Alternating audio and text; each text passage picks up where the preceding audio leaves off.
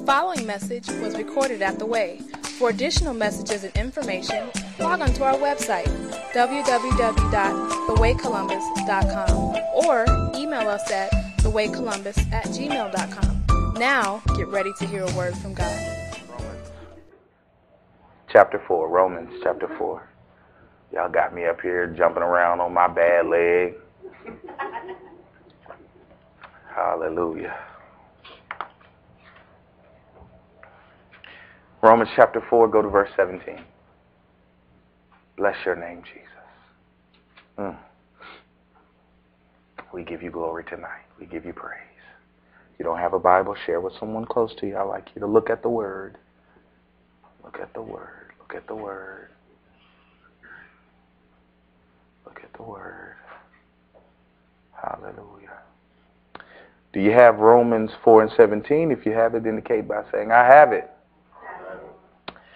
I'm going to read out of the uh, uh, HCSB. So follow along in whatever translation that you have. Amen. And I will uh, call out verses so that you know exactly where I am. In God's sight, as it is written, I have made you the father of many nations. Uh, this, this passage is talking about Abraham, the father of faith, Abraham. He believed in God, who gave life to the dead and calls things into existence that do not exist. He believed in God, who gives life to the dead and calls things into existence that do not exist. See, God calls things into existence that do not exist. Verse 18. Against hope, with hope, he believed. So that he became the father of many nations, according to what he had been, according to what had been spoken. You're underlining in your Bible, you can underline that passage. Somebody say he had a word. Yeah, he had a word. He had a word. So will your descendants be. This is the word. He considered his own body to be already dead since he was about a hundred years old. And the deadness of Sarah's womb without weakening in the faith. Hmm. In other words, faith does not ignore the situation. Faith does not ignore the situation. He did not waver in unbelief at God's promise, but was strengthened in his faith and gave glory. He was strengthened in his faith and gave glory to God. Because, 21, he was fully convinced that what he had promised, God had promised, God was able to perform. So far, the reading of the scripture. I want to speak in your hearing for a few moments the faith factor. Everybody say the faith factor. The faith factor. Faith factor. We've been talking the last couple of uh, messages uh, about uh, Pastor Kendall came with a word that said, don't buckle in the middle of your test. Don't buckle in the middle, in the middle of your test. And then I brought a message that said there's a war over your word. And we began to talk about prophetic words and to begin to bring some insight and some uh, balance and some understanding as it relates to the prophetic uh, utterances of God within the body of Christ. And then last week we talked about prophetic delays. And we talked about uh, the process, uh, that period of time between the speaking of the prophetic word and the fulfillment of the prophetic word. We talked about how prophetic words speak to the future. They are predictive in nature. They talk about things that have not happened. Uh, we talked about how God uh, is eternal. He lives outside of time. He has a panoramic view of time. Uh, but when he speaks, he speaks from eternity into time.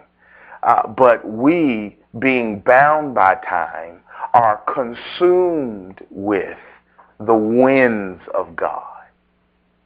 But the winds of God are not as important as who God is. Winds of God are not as important as who God is. For when God speaks, God is speaking from a vantage point of something that's already done. From his vantage point, it's not yet to happen, it's already happened. Y'all don't hear what I'm saying? Because he's eternal. He's outside of time, and he's looking at time like a timeline, a panoramic view of time. However, we are in time. So when God speaks a word, we think it's going to happen right now. I was talking to Armand earlier, and we were kind of talking about this. How many of you have ever made your child or your niece or your nephew a promise you were going to do something? You just said, I'm going to take you to the zoo. You don't tell them when. You don't give them any details. You don't tell them what zoo. Right? You just say, you know what, I'm going to take you to the zoo. In your mind, you know you're going to take them to the zoo. You know when you're going to take them to the zoo. But the child doesn't know when. A child is oftentimes impatient. When are you going to take me to the zoo? When are we going to the zoo? Are we going to the zoo today? Are we going to the zoo tomorrow? And they just pull on you and pull on you and pull on you. Because they haven't reached a place of maturity to understand who's promising. They don't have the patience and they don't have the track record of seeing you fulfill your promise to know that it doesn't matter when. If mommy said we're going to the zoo, she's going to make it good. Many of us are in this situation as it relates to our prophetic cycle. We are, every single person, I, I can say it with all certainty, every single person in this room is between a prophetic word and a manifestation. Everybody. God has said something in everybody's life, heart, spirit that has not happened. Y'all with me? But many of us have not matured to the place that we understand the character of God. For it is the character of God that enables you to have faith in him. Anybody, think about it, anybody in your life you've ever trusted, you trusted them because they prove themselves to be trustworthy. And you know their track record. For many of us, we haven't walked with God long enough to have a track record. Or we don't consider the things that he's done as proof of his faithfulness. Sometimes our ideas and are too lofty as to what we can consider a provable fact in our lives. However, for those of us who don't have our own experience, we have other people's experience. That's the Word of God. That's what the Bible is for.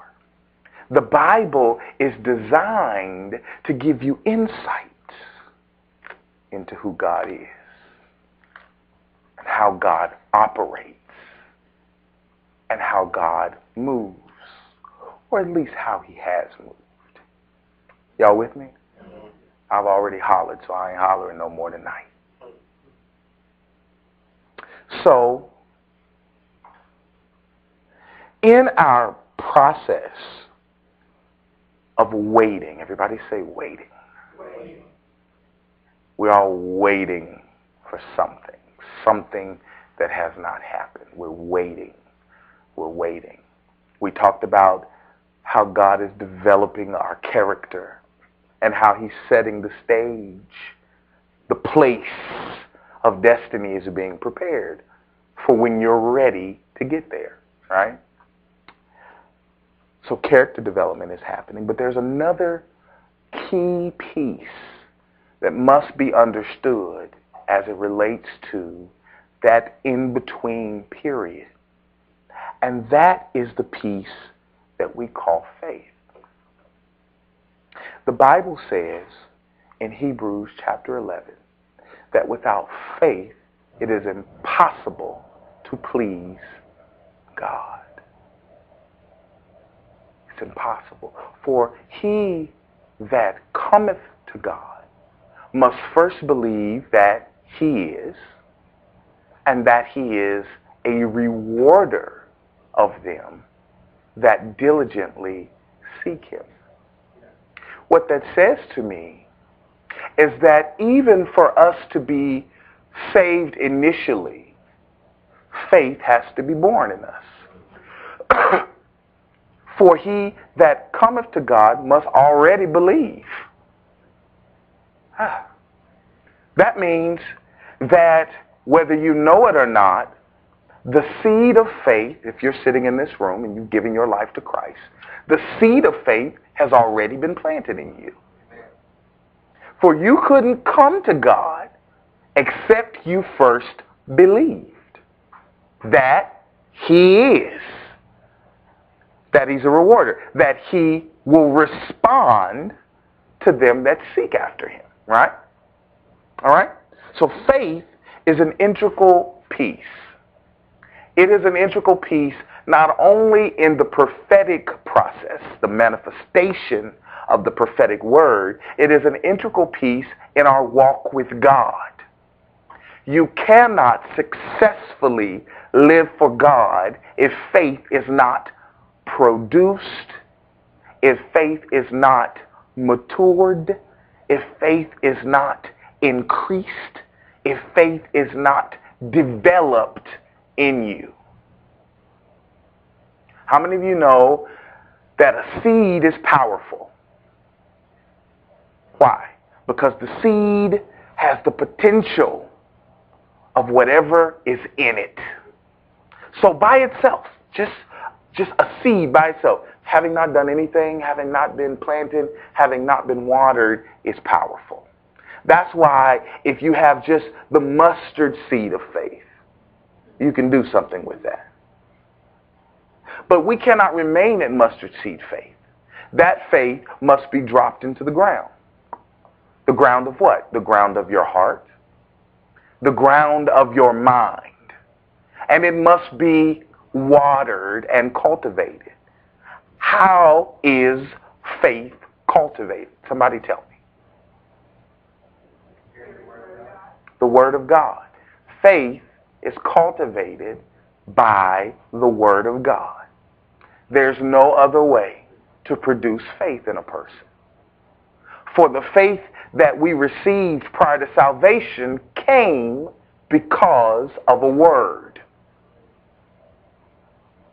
The Bible says, faith cometh by hearing, hearing by the word of God. But how can he hear without a preacher? How can he preach except he be sent? So, so faith has to come as a result of a word. That word, though, is simply a seed that has to be watered with more word. Y'all follow me? Okay? This is the faith factor. So faith has to grow for us to be able to function within the kingdom because everything in the kingdom of God operates by faith. Everything, all of this stuff requires faith because very little of it makes sense. Hello? Let's be honest. We get up here and we teach and we try to explain, but very little of this makes sense to the natural mind. Do you understand what I'm saying? That's why the Bible says the carnal mind cannot receive the things of God, the things of the Spirit. They have to be spiritually discerned. So that means the Word of God don't make sense. As a matter of fact, the Bible calls preaching foolishness. Think about it. It's kind of stupid to stand up here and have to holler at people every week. Like, really, there, God, there's no better way? There's no better way than every week to try to convince people of the Word of God? It's foolishness. So that must mean that there's a disconnect with the natural mind and the Word of God. So the Spirit of God must breathe on the Word of God for the Word of God to become real in you. You need more than a concordance. Y'all hear what I'm saying? You need more than a commentary to grasp the Word. Those things will cause the Word to attach to your head, but not your heart. And that's why you can quote the Scripture, but as soon as trouble hits your life, it falls off like you don't know it. Oh, y'all don't hear what I'm saying. As soon as things don't go your way, all of them verses turn to blur. You don't see any of it. You don't stand on any of it. Y'all don't hear what I'm saying. Because faith has to be produced in your heart by the Holy Spirit. The same Spirit that took the word you heard of salvation and drew you. For no man can come, no matter what message he's heard, except the Spirit draw him. So the same Spirit that is at work at salvation is at work in producing faith in us. What does that say? We have to invite the Holy Spirit into our faith development process. We have to pray and we have to ask the Holy Spirit to make the Word real to us. My God. How many of you have been reading the Bible or meditating on the Scripture and you had what you considered to be an aha moment? Like all of a sudden, what was words and commas and periods and thous and these and thuses blows open in your mind. That's the Holy Ghost.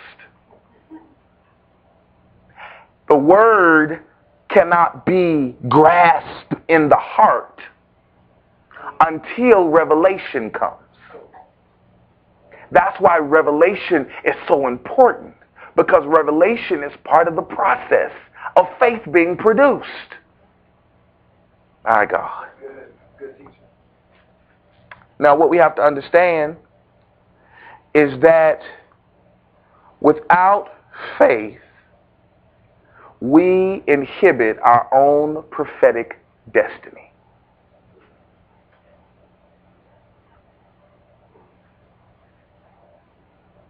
God gives the word, which is his mind, his will, his plan, his intentions.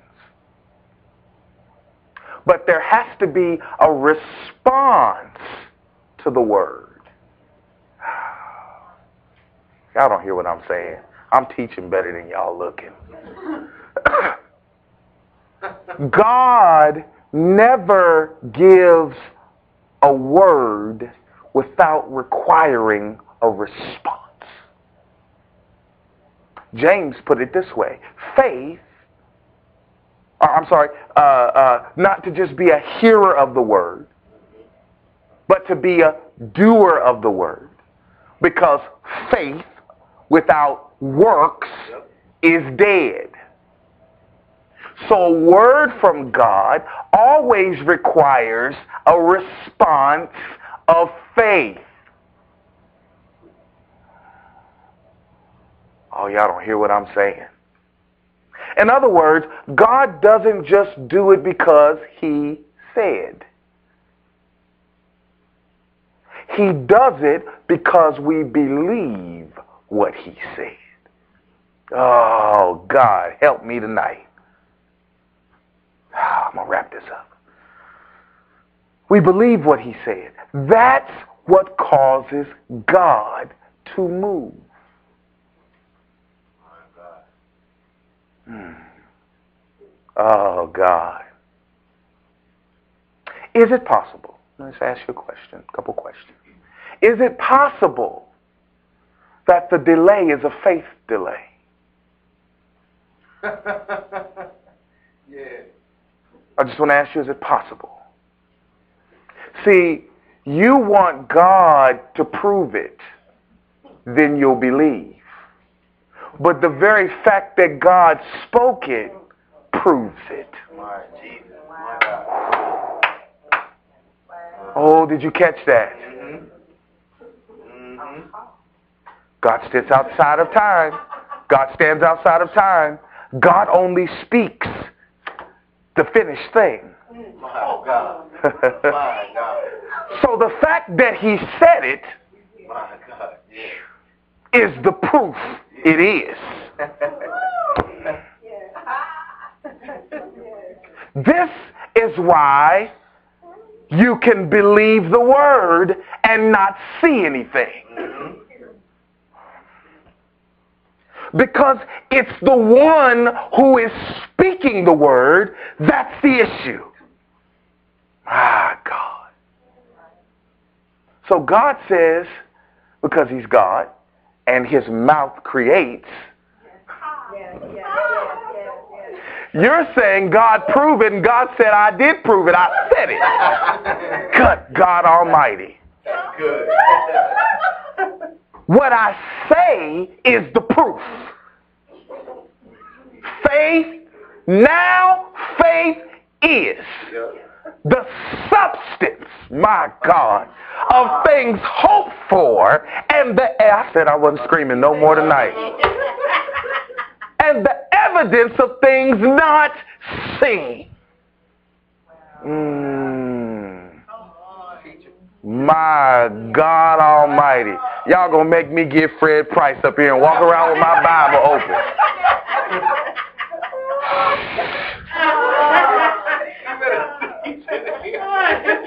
Man. So, again, is it possible that it's a faith holdup? Hmm.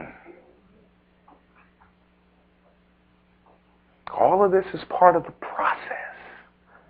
Because God moves according to Jesus. Jesus healed many people.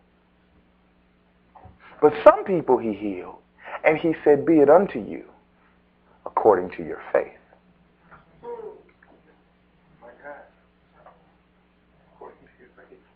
Be it unto you according to what you're able to believe. See, the centurion understood. Some of y'all read your Bible. Oh, yes, yes. Shall I finish? The centurion understood who Jesus was. So because he understood who Jesus was, he said, you don't even have to go to my house. Come on. Come on. Just speak the word. And my servant will be healed. Jesus backed up and said, I've not seen this kind of faith anywhere in Jerusalem. Oh my God. I'm not seeing this faith. He wasn't even saved, but he grasped the concept of knowing who's speaking.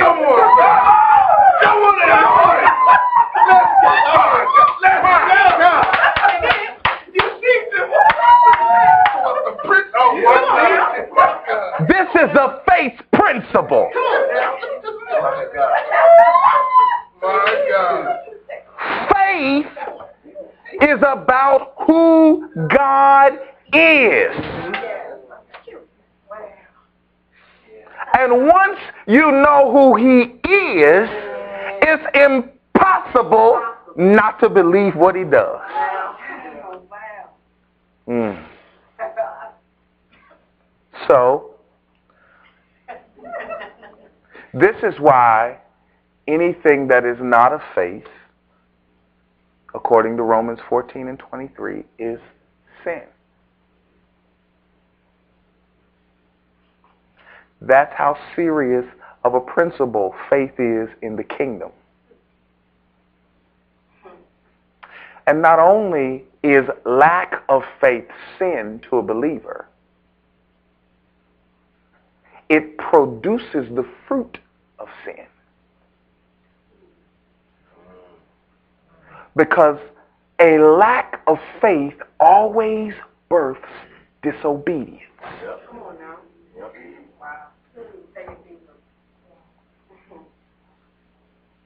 The reason why many of us struggle with sin because it's really a faith issue. Because if you believed God, you would obey him.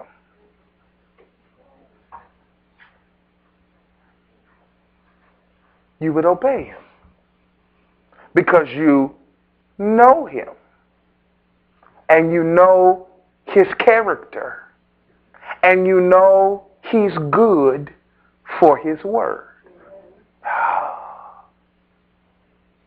So that's why lack of faith is sin and produces the fruit of sin in our lives.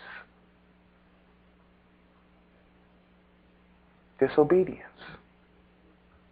None of us watches the, meteorolo- the, the meteorologist on the way to work and hear them say 100% chance of rain and you go out the house without an umbrella.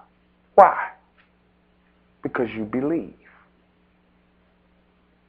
When you have faith, faith requires your actions to line up with what you believe.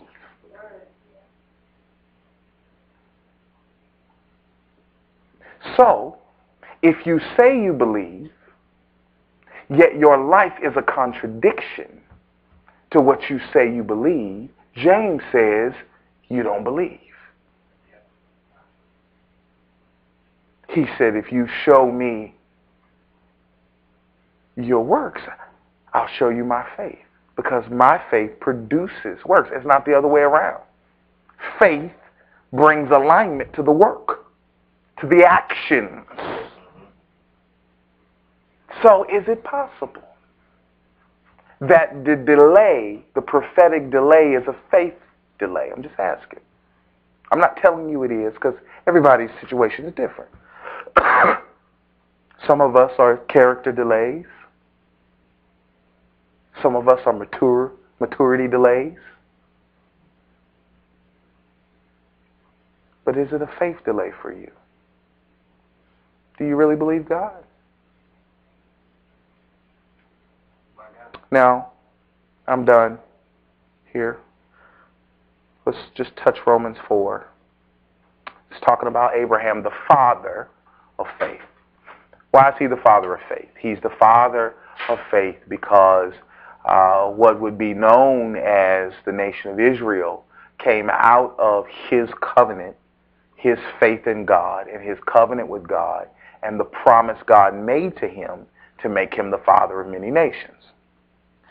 Now, this this passage I read is just like full, so I'm going to graze it so y'all can go home. All right. As it is written, I have made you the father of many nations.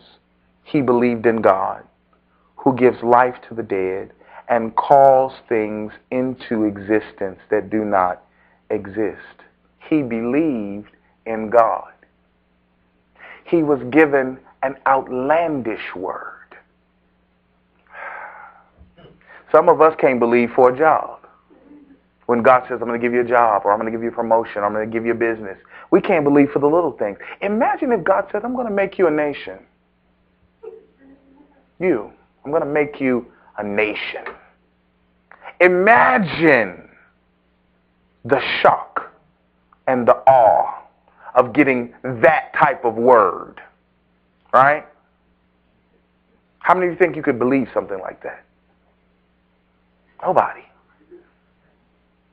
But this this man Abraham was given that kind of promise.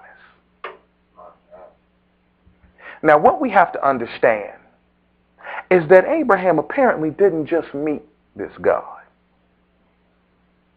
He apparently, now you come on, you got to read in between the lines when you read stuff. He apparently already knew something about this God and had some kind of history with this God. And apparently he found some kind of favor with this God because of his faith. I believe it was Abraham's faith that enabled him to even get this particular y'all You got to understand that God is so into faith that he's looking for someone Yes. who just will outlandishly believe so he can tell them something outlandish. yes, God. Yes, God. Imagine the words that haven't been released in your life My God. because you don't even have the capacity to hear it, let alone believe it. God, I feel God in here. Y'all ask for revelation, I'm getting it. Imagine what you haven't heard, hasn't been released to you. Imagine what God has in his mind that he's searching the earth for faith. Uh, I don't know about you, but I want the kind of faith that will release somebody else's promise to me because they couldn't believe it.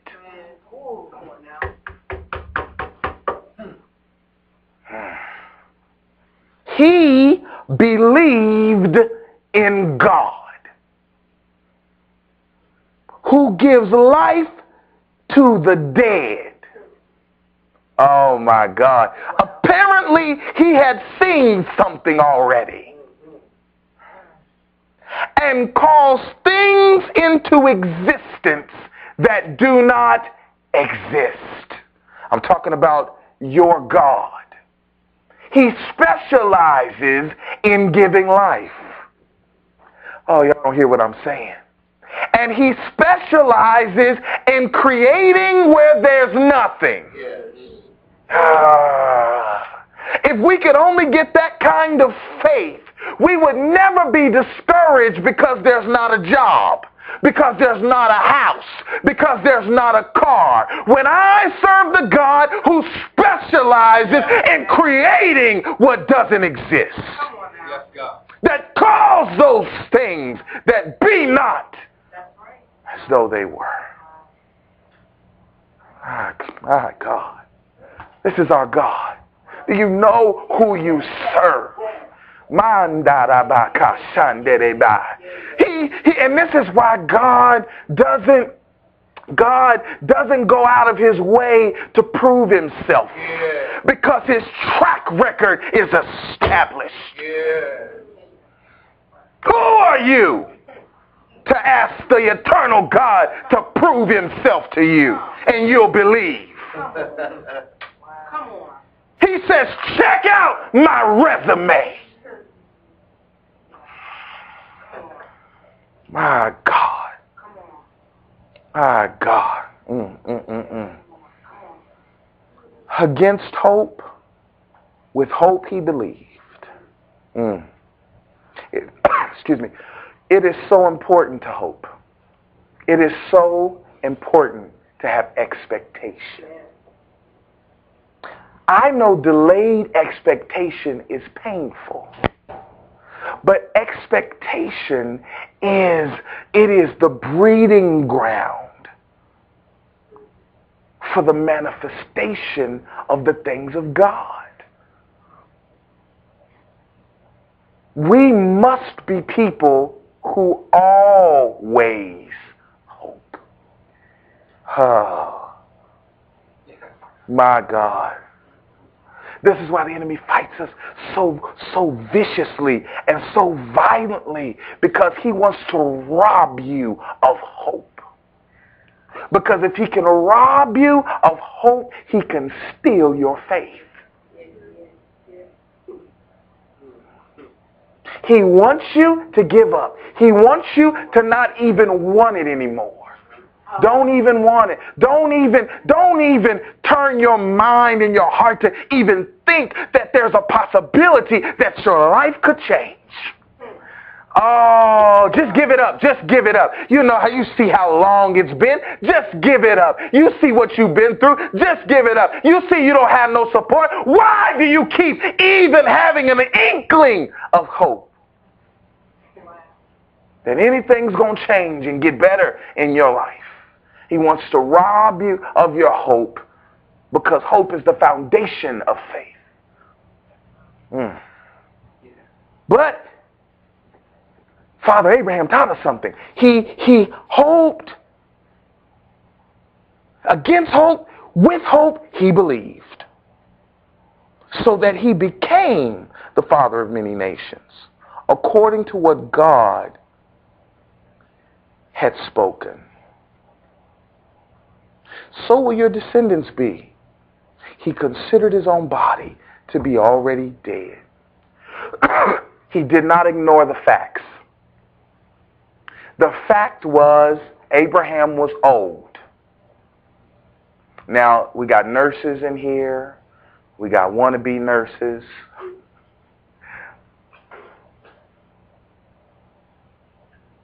He ignored, he uh, recognized the fact, rather, that his body was dead, that he was old. We all know medically, a certain age, you're not having no more children as a man. If you do, they're going to have probably big foreheads and three eyes. okay? I'm serious. The older you get, the higher chance of you having a child that has some type of developmental, help me nurses, am I right? The older you get, the chances go up of having a child that has some type of delay. Right? That's what they teach us. This man was a hundred. You know, some would say he have nothing left but dust.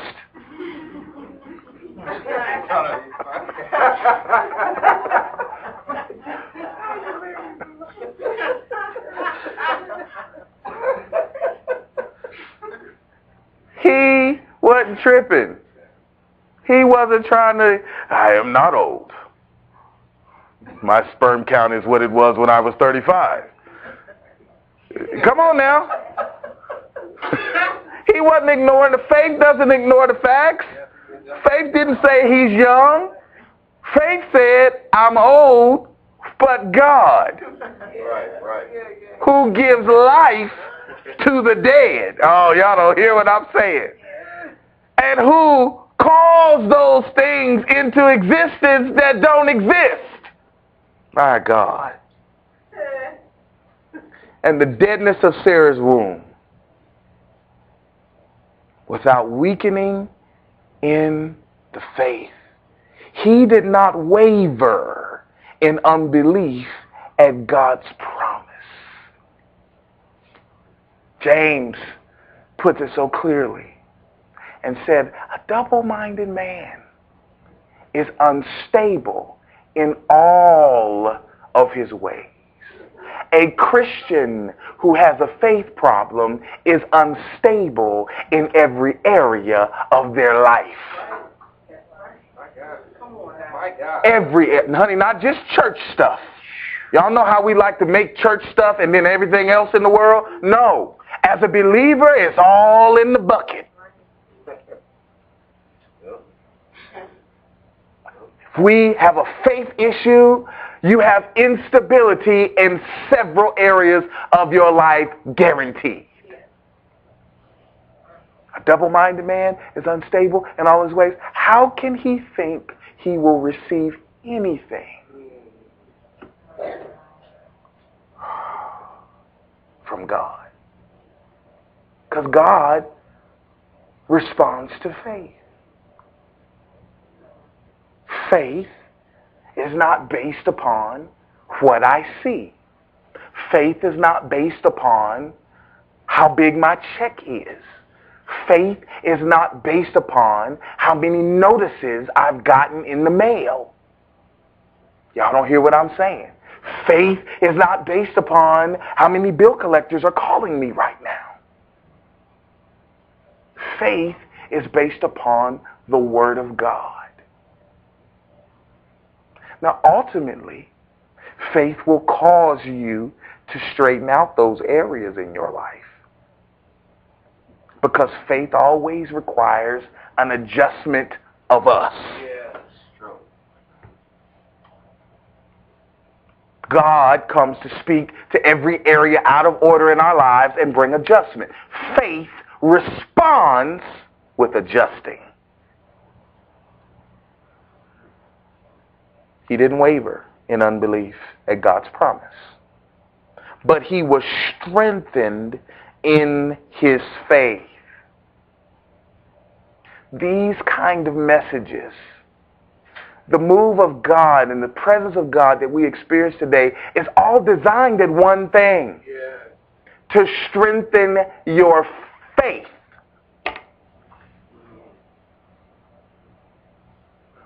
Words of confirmation are sent to what? Strengthen your faith. Y'all don't hear what I'm saying. If you will hold on to what God has said and choose not to waver no matter what happens or what doesn't happen or how long because you know your God, he will always send help. He will always send you strength to your faith. Simon, Simon, Satan has desired to have you, that he might sift you as wheat. But I prayed and rebuked the devil. No. But I prayed that it wouldn't happen. No. But I prayed that your faith fail you not. God.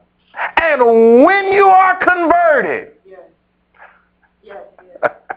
strengthen your brother's faith. Y'all don't hear what I'm saying. Y'all don't hear what I'm saying. My God. It says, but he was strengthened in his faith and gave glory to God. Praise is such an important part of faith, of sustaining faith. Praise keeps you in remembrance, praise and worship keeps you in remembrance of who God is. It keeps the acts, the deeds, and the character of God before you. Y'all don't hear what I'm saying. It's so important to praise God because praise robs your struggle of its strength and it strengthens your perception of God. Oh, magnify the Lord with me. Oh. Praise doesn't make God bigger than he is. God, praise makes him bigger to you. Oh, y'all don't hear what I'm saying. When you praise God, you enlarge him in your circumstance. He don't get no bigger in heaven because God can't get bigger. But your perception of God can enlarge. Oh, y'all don't hear what I'm saying. This man was strengthened in his faith and he gave glory to God because he was fully convinced that what he had promised, he being God, he was also able to perform. The faith factor. Stand on your feet.